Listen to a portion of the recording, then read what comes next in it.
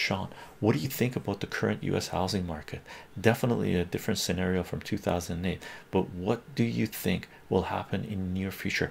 Um, that's a good good question. It really depends. It really depends. I know the housing market in Canada is about to take a serious tumble, serious tumble. If if my estimates are correct, because what's happening with the threat of sanctions on uh, China and Chinese, uh, the Chinese community in Canada, United States, because they're basically uh, China is being threatened with the same types of sanctions that the West has put on Russia, right?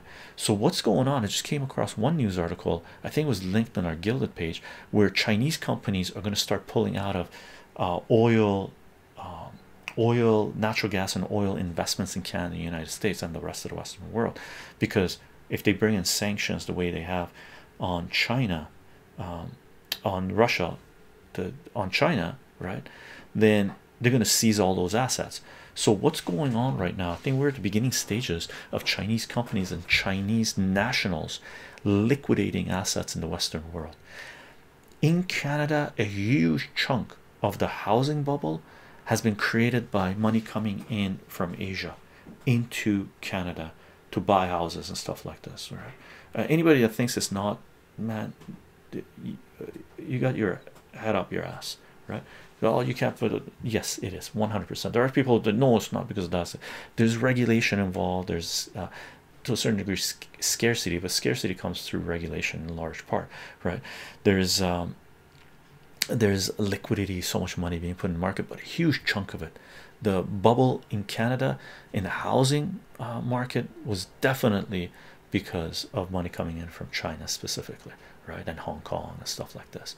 Um, so, if they're going to start pulling money out, we're about to see a serious hiccup in Canadian economy, and you can see that happening right now with the Canadian banking stocks breaking through the 50 day moving average and most likely going to be bouncing off the 200 day moving averages, right? So they're about to do a bounce off the 200 day moving averages.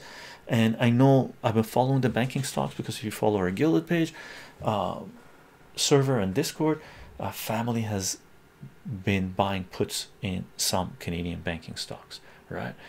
So, what happens in Canada in regards to housing will also be reflected in the United States, just the, the other way around as well, right?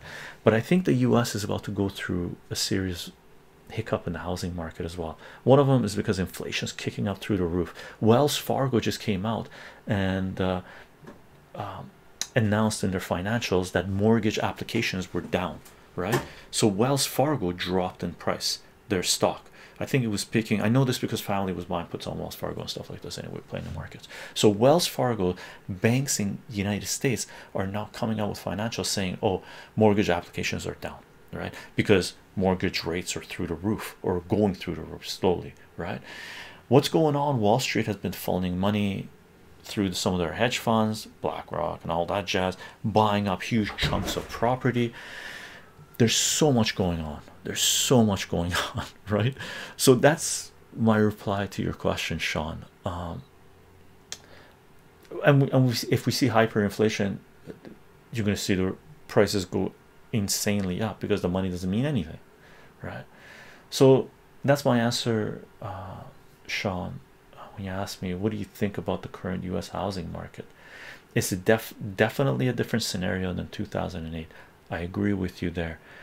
Where it goes is anybody's guess. Certain places are going to collapse. The housing prices are going to collapse. Certain places the housing prices are going to go through the roof because the United States is not homogenous right? States have huge uh, rights and they're uh, in some states they're not locking down their societies. And in they're allowing the economy to prosper for people to prosper for businesses to work to for for people to be able to feed their families right? In certain states they're locking everything down collapsing small business and um, lonely piggy thank you very much for subscribe uh, and they're collapsing their uh, economies and they want to put everyone on UBI welfare. Well if I was in one of those states, and those are mainly the DNC states, I begin getting out of those states because the crime rate is going to go through the roof. Uh, resources are going to be scarce, uh, services are going to uh, completely collapse, education is going to be garbage, healthcare is going to completely collapse. Like, literally, if you're in one of those states and one of those provinces in Canada, BC is one of them, I'd be looking into doing something else, right?